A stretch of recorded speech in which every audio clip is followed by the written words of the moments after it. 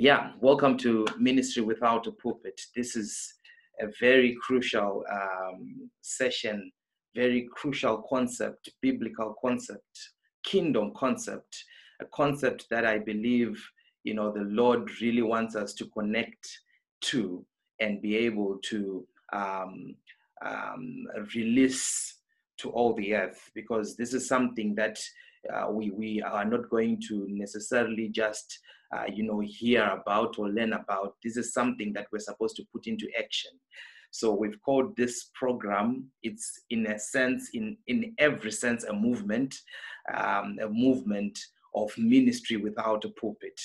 This is like i said last time this is not something that is strictly for uh, people who are actually involved in ministry right now. This is something, a movement that is mandated for each one of us, a movement that is mandated for all of us, something that we're supposed to do in our various uh, fields of influence. In our various fields of influence. So I am so happy that um, everybody managed to connect. So I'm not going to waste any more time because I delayed to um, to, to come through online today. I just want to get straight to the point. So, one of the things that I mentioned last week that is very important for us to connect to this idea of ministry without a pulpit is the idea of appreciating that this whole program helps us. It, it brings us to our attention, it brings us to complete awareness and helps us to appreciate the obligation that we have as children of God the obligation of becoming a move of God. So, ministry without a pulpit is a movement that is open to everybody who is born again. You are called to be a move of God in whatever place that you are residing in, in whatever field that you're operating in. God expects you. God is literally waiting for you to manifest as a, a, part of his move, as a part of his influence, as a part of his power, as a part of his glory in whatever area that you are called in. So, ministry without a pulpit helps us to appreciate and understand the mandate that God has put in place for each individual who is born again, each individual who is a son and a daughter of God, each individual who's born of Christ, each individual has been called to do the work of ministry. Last week, we looked into a scripture uh, from the book of Second Corinthians, and we appreciated, I believe, that scripture that helps us to appreciate the idea of ministry of reconciliation. So uh, let's proceed and see what we can learn through today's session. Right. So I want to first off um, try to help us appreciate and understand the definition of what ministry without a pulpit is all about. So, what is it all about? What is ministry without a pulpit? Because I saw so many people were excited about the concept of just seeing that it's called ministry without a pulpit, but not everybody really gets to um, appreciate and connect with the representation of what it is all about. What is ministry without a pulpit? Remember, I'm saying this is ministry that literally everybody who's born of Christ, literally everyone who's called by God, everybody is called to do this ministry. So, what is ministry without a, a, pulpit? Ministry without a pulpit is the responsibility of the reconciliation of the world back to God. It is our responsibility. Our responsibility as Christians, our responsibility as children of God, our responsibility of reconciling the world back to God. And if you remember, last week we shared a scripture from the book of Second Corinthians, uh, chapter number 5, from verse 18. I'll just read it quickly. All this is from God, who through Christ reconciled us to himself and gave us the ministry of reconciliation. So, the ministry of reconciliation is something that God has given us, mandated us. It is something that God has set for us to put into motion. Last week, I mentioned that many of us are called for ministry, but very few of us really come to the point of appreciating that the ministry that we have been called for and please not just bear with me take uh, walk with me so that you can have a clear understanding of what this is all about it is not what you are assuming so just just you know bear with me and walk with me so that i can bring um, uh, you know, some perspective to what I mean when I'm talking about ministry without a pulpit. It's the responsibility of the reconciliation of the world back to God, according to Second Corinthians chapter number 5, from verse 18, 19, and even 20. So we appreciate that as children of God, we are mandated, we were given the ministry of reconciliation by God as a responsibility, as a responsibility to ensure that the world is reconciled back to Him. Now, another way of understanding what ministry without a pulpit is all about is we can say it is the work of activating God's mandate in a place or field. It is the work of activating. Now, when we're talking about activating, this is definitely a mandate that you have, a mandate that I have as a child of God.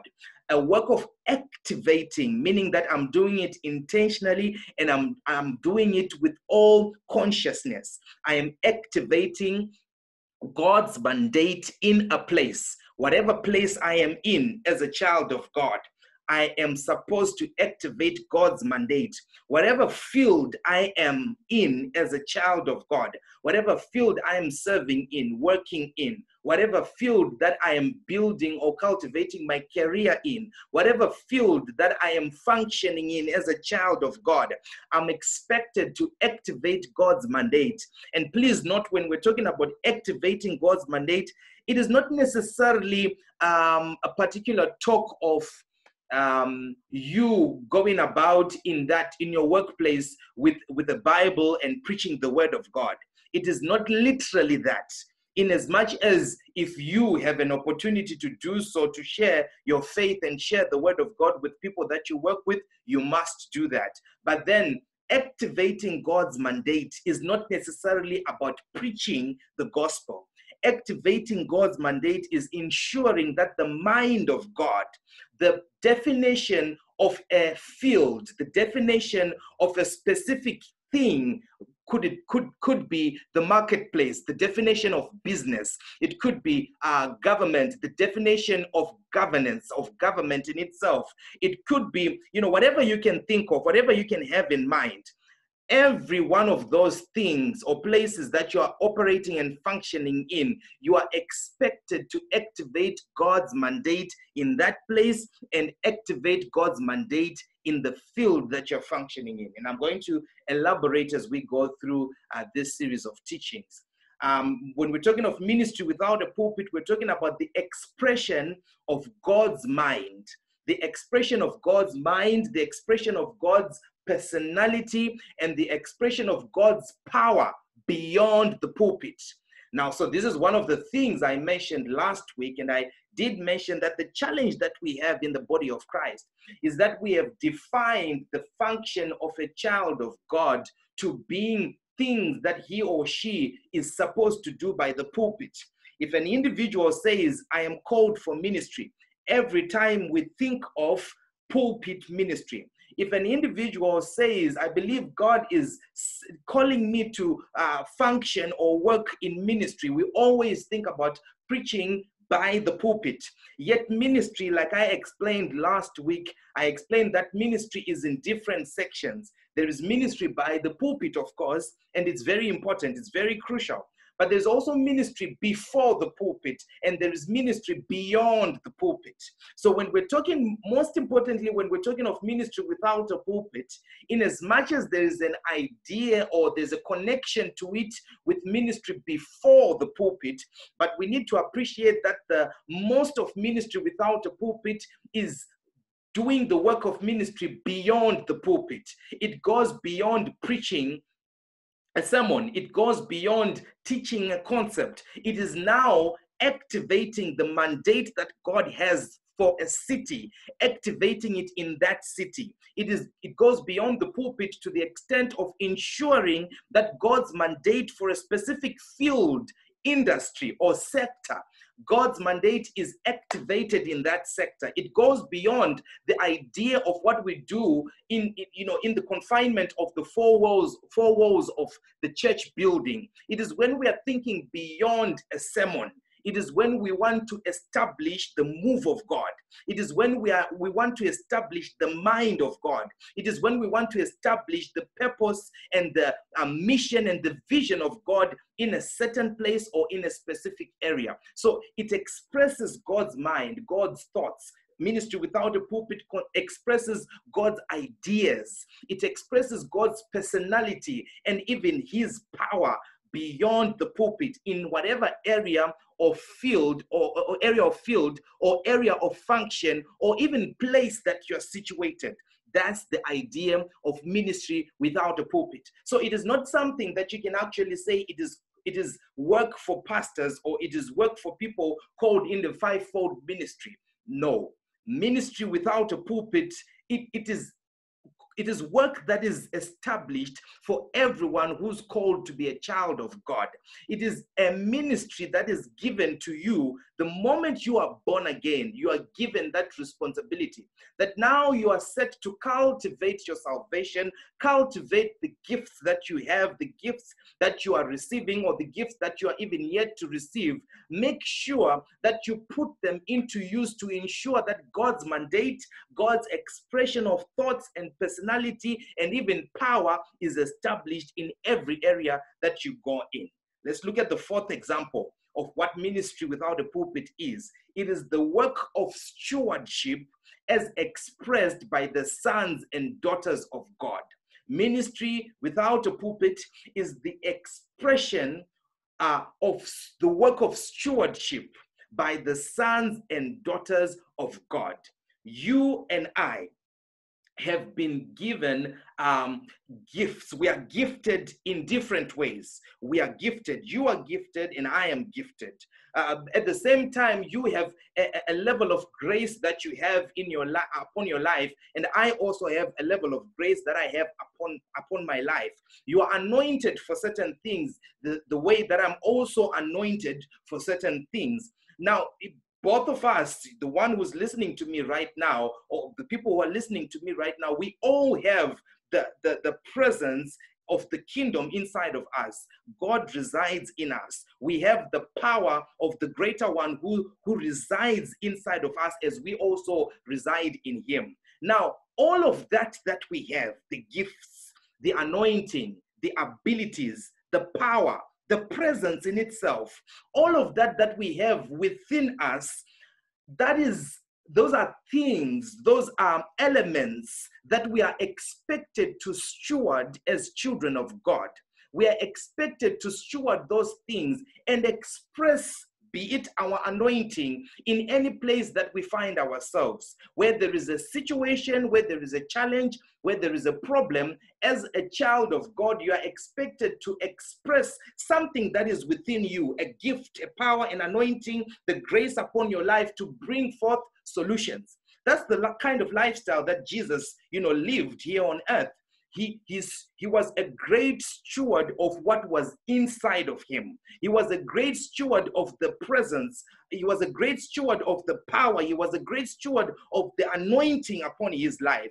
And you could see the expression of what was inside of him, bringing solutions in people's lives, bringing solutions, bringing understanding to things that people could not understand, things that people struggled to comprehend. The anointing that Jesus had before it was expressed out there, before it manifested out there, one thing that you're supposed to appreciate is it was well stewarded.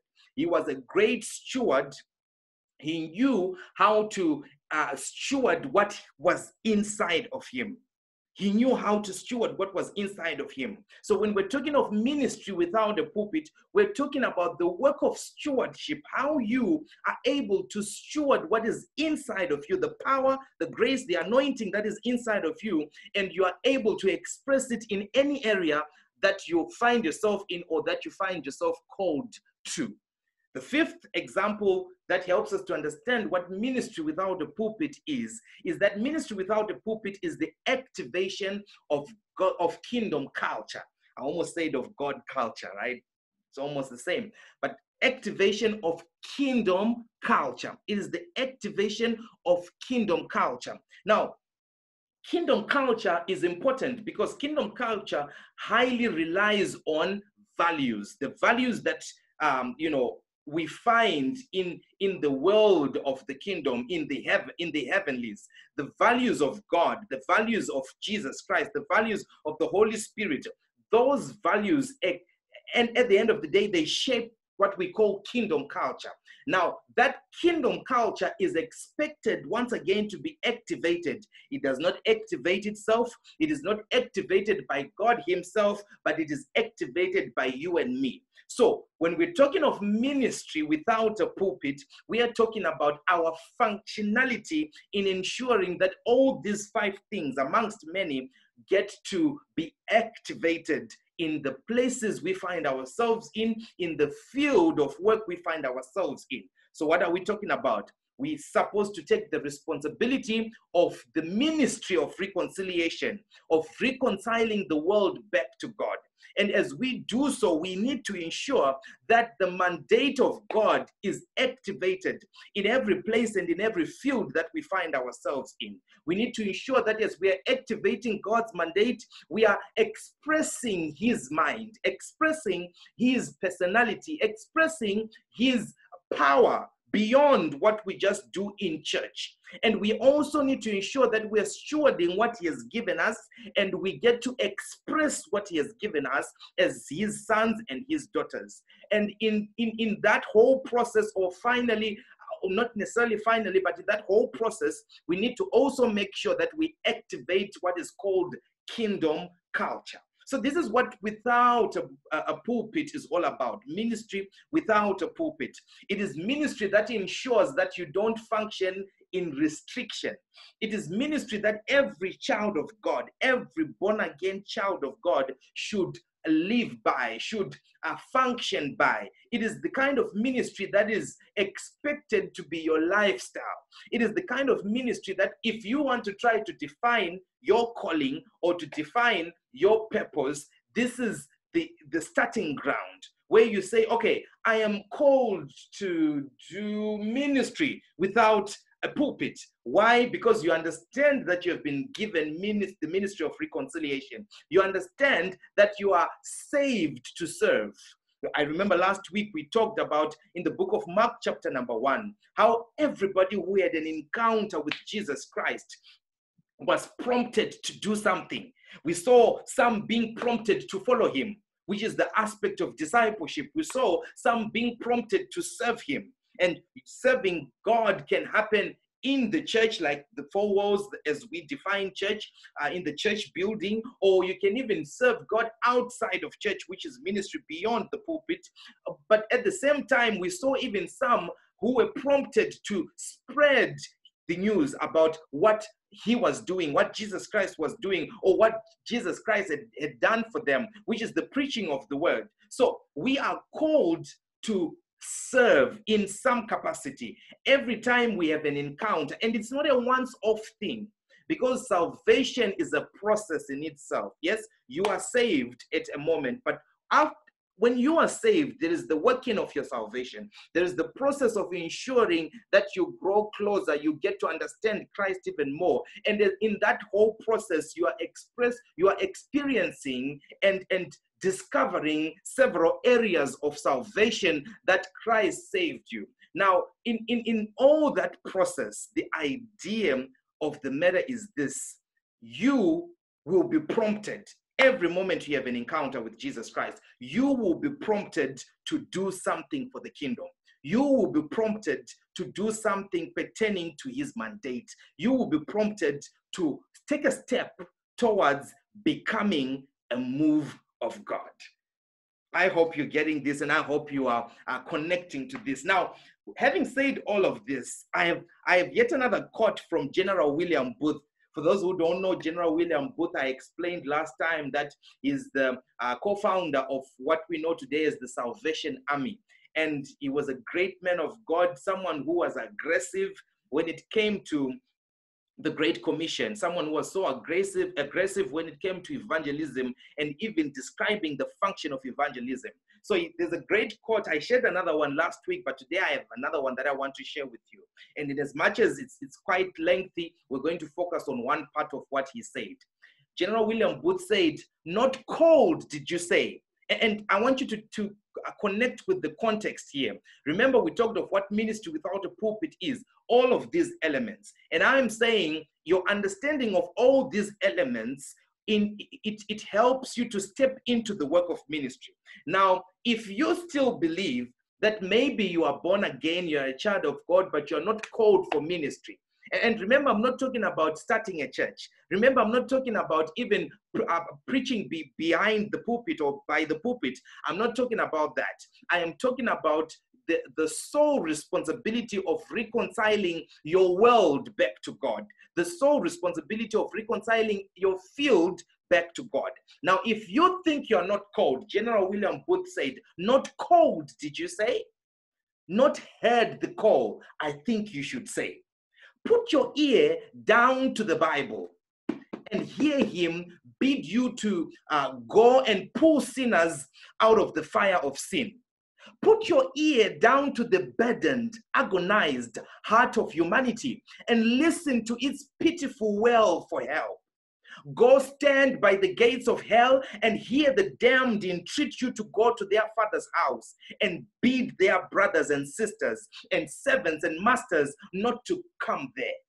And then look Christ in the face, whose mercy you have professed to obey, and tell him whether you will join heart and soul and body and circumstances in the march to publish his mercy to the world. My God, what a court, what a statement.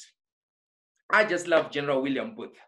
You see, this, this quote is a quote written by somebody who understood that ministry is not something that is just that is uh, a work that is called for a few.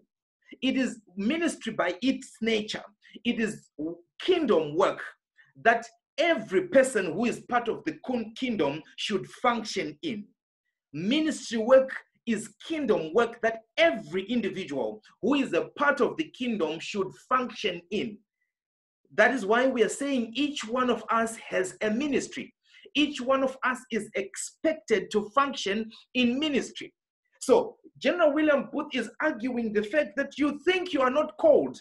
If you think you're not called, then first thing that you need to do is to put your ear down to the Bible. Listen to what scripture says read the Bible, listen to what scripture says. When you read the Bible, you realize that you th- there's a point where Jesus bid you to go and pull sinners out of the fire of sin. If you listen to what scripture is literally saying, you realize that there's a point in scripture where you are sent, where you are mandated to follow through the work of God. If you think you're not called, even after reading the scripture, then maybe go down to the people in your community that are burdened, people in your city that are agonized, people in your city that are wailing for help, calling for help, asking if there is any god out there asking if there is any solution to the to the struggles and the challenges that they are facing in their lives. Eh, if, if you read the scripture and you don't see yourself called, and if you go to your city and go to the people in your community and listen to their cries of help and still think you're not called, then maybe try to take a trip to go to hell. Stand by the gates of hell and then hear the wailing and the cries of those who are in hell, crying out for you who has an opportunity to go and do the work of ministry, to go and tell their father's house be their brothers, their sisters, the servants, and the masters in their households, not to come there.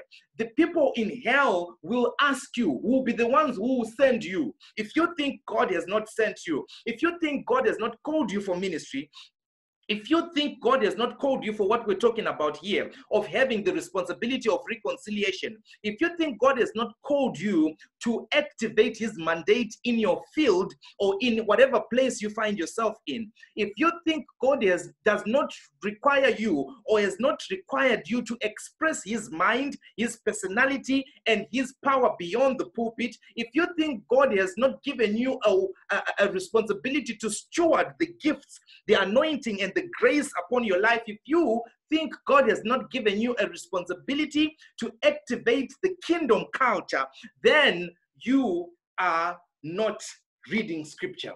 Then you have not listened to the wailing of people in your community. Then you possibly have never taken a trip to hell or ever heard about the circumstances in hell and even imagined what the people in hell would request you to do. Maybe those are the people that should send you maybe those are the people that should send you but but nonetheless reading the scripture listening to people's challenges and even taking a trip to hell if all that does not work maybe try to face jesus in your in, in your um secret um, i mean in, in your um, um, quiet time whilst you are in the secret place whilst you are in the in prayer try to look at jesus christ in the face and tell him whether you will join heart and soul and body and circumstances in the mandate of ministry or you will not. Either one, either case, you're going to find yourself appreciating that one way or the other, I have been called for ministry. And please note once again, I'm not saying you're called to be a pastor. I'm not saying you're called to be an apostle. I'm not saying you're called to be a prophet. Neither am I saying you're called to be an evangelist or a teacher. I am saying you're called for ministry. Why? Because scripture says we've been given them the, the responsibility of uh, uh, reconciling the world back to God, just as Christ was given that responsibility. And to us, it was given as the ministry of reconciliation. So, my effort and your effort is expected to contribute to what is God's mandate, which is reconciling the whole world back to Him. And please notice, it is not talking about just people, it says the world. The world encompasses more than people. The world encompasses of systems. The world encompasses of um, uh, fields of work, industries, sectors. The world encompasses of much more than just human beings. Even nature in itself, the earth in itself, every little thing that you can think of is encompassed when you're talking about the world. So there is a lot that is in what we call the world. I want to make an emphasis on this part of um, um, General William uh, Booth's quote. He said, Not called, did you say? Not heard the call, I think you should say. Put your ear down to the burdened, agonized heart of humanity and listen to its pitiful wail for help. Now, this is this is the part I believe for today. I want to make a bit of an emphasis because I believe each one of us, for everybody who is logged on right now, there is um, a, a level of consciousness that you have each and every day when you are watching news or reading the newspaper. Every time when you are hearing about what is happening in your community, in your city, or in your nation, you can agree with me that our cities, our neighborhoods, our, our communities, our villages, our regions and nations, you know, our places of abode are ill. People are experiencing burdens. People are in struggles. People are facing challenges. People are in pitiful situations and circumstances, challenges that are agonizing their hearts, problems that they can't just come out of. I believe even today, if you read your newspaper from the front page to whatever page you read it through, one way or the other, there is something that caught your attention, a problem that people are facing, some um, some some situation in your community. It could be the, the, the unfortunate um, happenings of rape cases. It could be the unfortunate happenings of murders, of robberies. It could be the, the, the, the struggling and the wailing of people in poverty. Any challenges that you you've you've actually uh, you know paid attention to. It could be in your newspapers in whatever city you're based in. It could be even in your radio news or TV news, or your neighbor telling you about what is happening to another neighbor, or your neighbor telling you about what is happening to a relative of them who is in another city, whatever that you had that expresses the pressure and the challenges that human beings are going through is an indicator that you and I are not doing our work as we are called to do our work.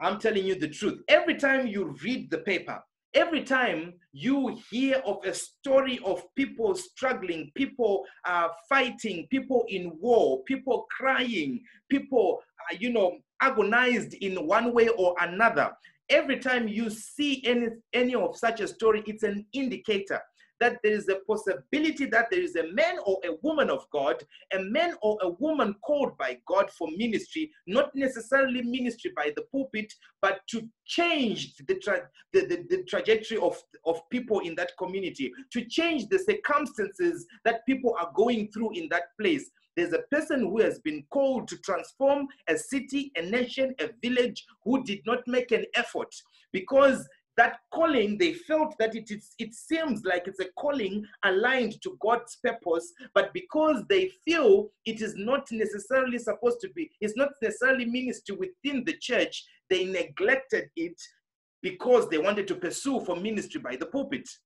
People have neglected their purpose, people have neglected their calling for ministry beyond the pulpit, ministry without a pulpit because they've never had an understanding of the definition of what ministry is all about. So our cities, our villages are wailing right now. They are crying. There's a scripture that I want you to read with me in Proverbs, um, in the book of Proverbs, chapter number 11, verse number 10. I want you to I want you to connect with this and appreciate this. And I, I want to welcome everybody who's logged in. I can see that there a, couple of people that are logged in right now and watching.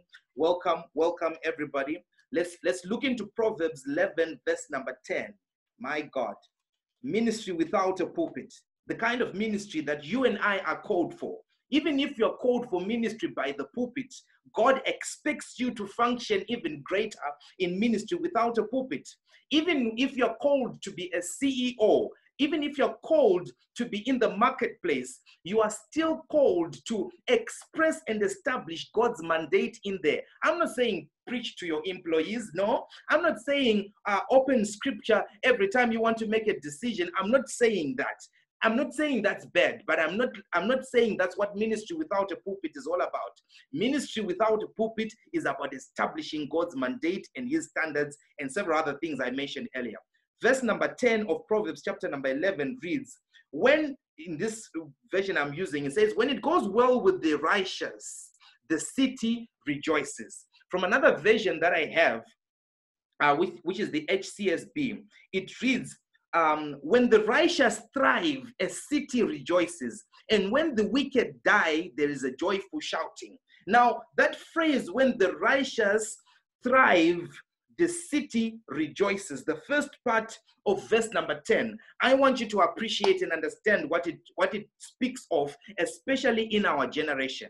You see, the problem that we have right now is that most of our people in the communities and cities are wailing and they are crying. It's happening in this nation that I am in. It is happening in the whole of Southern Africa. It is happening in the whole of Africa. It is happening globally each one of our countries, there are people struggling. There are people living in poverty. There are people struggling with life. There are people being abused day in and day out in their households, in their families, by the people that are close to them. There are people being abused sexually. There are people are being being abused, you know, violently. There are people being abused in all sorts of manners that we can think of.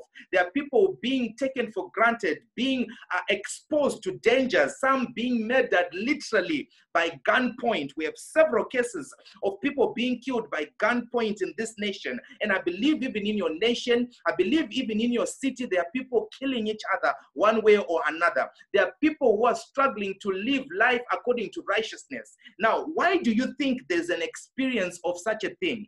I'll tell you the answer.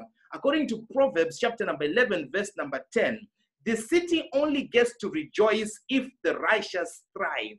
If righteous people are thriving, then the city will rejoice. My city is not rejoicing, I can tell you for sure. Just a week ago, just a week ago, there is a case of people who were shot gunpoint. Just like that, their lives ended. It, the whole story entails of a lot of things that was happening, which, ex, which to me shows that as the body of Christ, as children of God, we are not doing as much as we are supposed to. There are so many cases besides murders. There are cases of corruption, fraudulent activities that are destroying people's lives. There are cases of businesses that are literally killing people, bringing problems to people's lives, not necessarily solutions as they are supposed to. And all those challenges are an indicator of the state of our cities, the state of my city, the state of your city. And I am saying our cities are not in joy. Our cities are not joyful. The people living in our cities are crying. The people living in our countries are crying. Question is, why are they crying? Proverbs 11, verse 10 has the answer. It says, If the righteous thrive, then the city rejoices. So if the city is not rejoicing, literally it means the righteous are not thriving. Does it mean thriving by buying a brand new car? No. Does it mean thriving by buying a brand new house, building a brand new house? No. That's not the kind of thriving that we're talking about. We are talking about thriving in our righteousness. Many of us righteous people are not thriving in our righteousness. We are not living out the mandate that God has given us. We are not expressing God's mind, God's personality, and God's power in our fields and in our places of abode. We are not expressing God's mandate or activating, rather, God's mandate or activating kingdom culture in every place we are found. Why? Because we think we are not supposed to play a role in that. Now, I am telling you, you and I have a role to play. The challenges that we're seeing in our cities, the problems that people are crying about day in and day out. Many of us, many countries, we are always complaining about problems that are 20 year old 20, 20 year old problems right now we are crying about economic uh, challenges that we've been facing for 30 40 50 years or even even less even if it's 5 years or 10 years many of us are crying because of several social ills that we are experiencing. Many of those challenges affecting us directly. Some are not affecting us directly but they are affecting the people who live around us people are in crisis right now. There are so many crises that are affecting people in our communities, not just the, the, the, the COVID pandemic. There, is, there are challenges that we have here in Africa.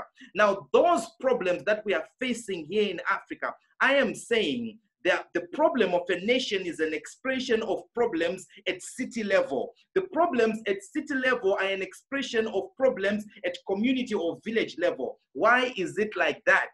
It's because the righteous people are not thriving in their righteousness. You and I are not thriving in our righteousness. God has graced us, God has anointed us. God has gifted us. God has empowered us. God has given us all authority. God has given us power that we can use to change our communities. But we are not doing so because we have become part of the world. Literally, we have become part of the problem. We are expected by God's mandate to reconcile the world, the systems of the world, to reconcile industries and fields back to God back to his mandate. And when we're talking about reconciling the systems of the world and even the fields that we work in back to God, we are talking about re- bringing those things back to the original definition of function. We are talking about bringing those things back to the original state of standards, godly standards. What, how does God define government? How does God define business? How does God define education? How does God define health or hospitality, whatever you can think of? Now, all those things are right now detached from God. Governments are detached from God. Businesses are detached from God educational systems are detached from God. Economical systems in our nations and cities are all detached from God. Question is, why? And the simple answer is this the righteous people are not thriving in their righteousness. They have become part of the problem. You might say, No, Berven, I don't do that. I don't participate in any corruption. I don't participate in anything that brings people down, that brings life, the lives of people down. I don't participate in anything that actually inconveniences the person next to me. I, you might say that, and I might believe you that you don't participate in it in that way, that you're not corrupt yourself, right? I might believe that you're not corrupt yourself. I might believe that you're not a greedy person. I might believe that you're not a person who is, you know, um, um, conceptualizing ideas that will destroy other people's lives. I might believe you from that perspective. But the big question is this this is the big question. What are you doing to ensure that whatever that is hurting and destroying other people's lives comes to a stop? What are you doing pertaining to stopping the work of the devil? Some people are participating in the work of the enemy, in the work of the devil, because scripture tells us that the thief comes to steal, kill, and destroy. People's lives are being destroyed day in and day out. People are being robbed of the prosperity that God has, has set for them in their communities, cities, and nations. People's future is being stolen each and every day, each and every time. People's lives are being stolen. People's future opportunities are being stolen. People's jobs are being stolen. Why? Simple. You and I are not thriving in our righteousness. If the moment, and I want to take you back to this, the moment we thrive in our righteousness, guess what will happen? we will activate God's mandate in our place, in our field. We will start to express God's mind, God's personality, and God's power. We will start to activate kingdom culture in our world. And the moment we start to activate that, the moment we start to work in line with that, that's the very moment that we'll start to see a change happening in our cities. That's the very moment that we'll start to see a change happening in our nations. That's the very moment that we'll start to see us literally living out our lives as the salt of the earth, as the light of the world, because that's what we've been called for. We've been called to be the salt of the earth, but are we being the salt of the earth right now? We've been called to be the light of the world. What light are we shining right now? People are living in darkness. People are struggling in life. People are doubting the existence of God because the children of God are quiet, are idle, and literally just drawing back not expressing themselves according to God's mandate. Where we are expected to influence the earth, we are we, we it seems like we have no flavor. It seems like there's no influence that we can bring. Where we're expected to shine our light, we, we hide under the table. We don't want to come out in the open in the open and express God's God's values and culture. We don't want to come out and, and, and, and stand and, and rather, let me put it this way, and express our moral obligation. We don't want to do that. We would rather just stand by the sidewalk and watch as things happen, watch as people die. Have you ever noticed that in the past 12 months, it's possible that there is little that you have done as expected of you according to the definition of salt in the earth. Have you ever noticed that in the past 12 months, and let's even just say six months of this year of 2020, possibly there's very little that you have done as expected of you as the light of the world. Oh, yes, you might have read a lot of scripture. Oh, yes, you might have prayed quite a number of times and fasted quite a number of times. And as you were doing that, you were doing a great thing. Something was working inside of you, something has been growing inside of you. A greater level of anointing, a greater level of grace, a greater level of understanding the ways of God. But the question is after understanding, after connecting to that dunamis, after connecting to that anointing, after connecting to that level of grace, what have you done? How have you gone out beyond the pulpit, if ever you are doing anything by the pulpit? How have you gone out to be an ambassador of God in your field? How have you gone out to establish God's will on the earth? My God. We need to think about this. We need to think about it and understand what our role is. What is your role? What is your role? Every time you identify an area that is sick, an area that is ill, an area where there are challenges, do you know what your role is? And I'm not saying every area. There is an area you have been called for. Many of you know it, but many of you are silent, are ignorant. Uh, maybe let me say, many of you are scared to even get into it. Many of us are not aligned to the mission of God. So we are living our lives in the wrongful way. And I'm not talking about, like, I'm not just talking about sin here. I'm talking about not living our lives according to the purpose that God has set for us. So, will you commit yourself to minister where your ministry is needed? Will you make it a mandate to identify the area of concern in your city? Will you make it a mandate to identify an area of concern in your community, in your field of work? Even if you can't identify it, will you try to make it a mandate and even at least pray about it and ask the Lord, Lord, open my eyes to see the areas where people are burdened,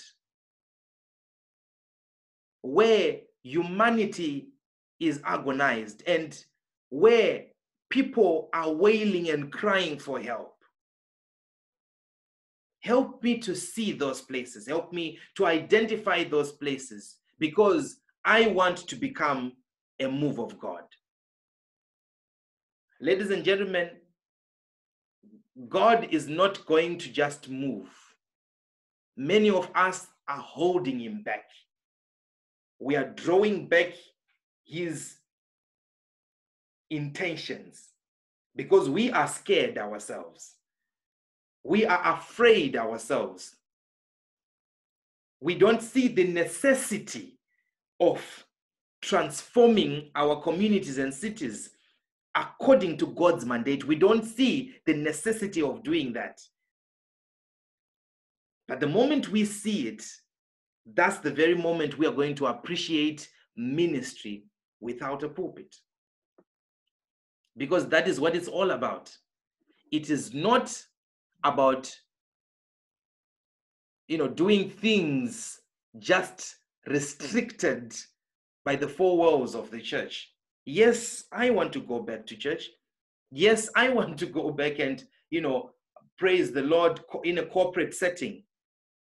But what i believe according to the inspired thoughts i've had and the voice of the holy spirit that i have had from last year ministry definitely as you can see now ministry is no longer going to be the way that we've always known of having a one person one individual one individual who, who has the responsibility of doing the work of ministry in a group of 100 people. No. It might be so as we are all in one place listening or being taught. But when it comes to the impact of the church each one of us has to take up the responsibility of ministry and reconcile the world back to God. I do hope today you learned something that is quite interesting. I hope you connected with the sole idea that I was trying to drive home. That you and I, we are supposed to be a move of God.